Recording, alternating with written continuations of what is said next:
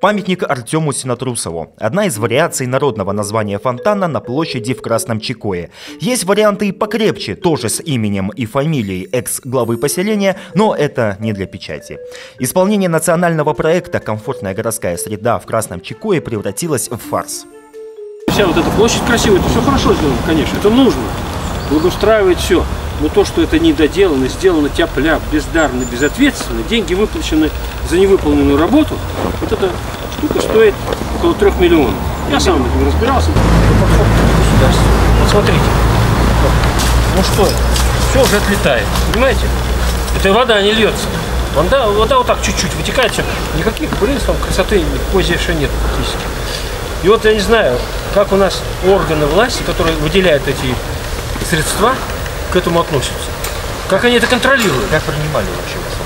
А как он принял и все. Я говорю, почему принял? А иначе с меня бы сняли.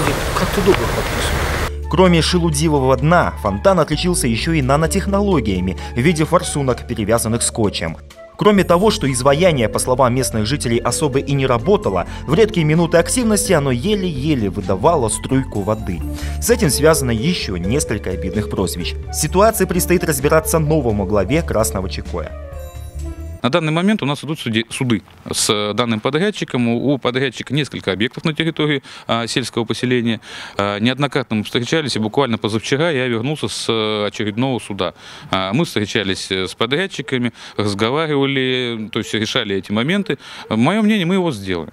То есть мы все эти огрехи, которые были, как вы говорите, наследство, да, а, я думаю, все-таки, это мое мнение, почему я сказал сразу, что не хочу никого ни в чем обвинять, а, какое бы наследство оно ни было, это не с нуля. То есть это уже есть определенный фундамент, который был сделан в прошлом. И то есть моя задача просто-напросто довести до ума. В Министерстве ЖКХ, энергетики, цифровизации и связи пояснили, что поддерживают позицию администрации района, которую она отстаивает в суде. Выявленные недостатки должны быть устранены по гарантии, и в этот раз, чтобы никакого скотча. Вячеслав Бортнинский, Иван Дементьев, ЗАП ТВ.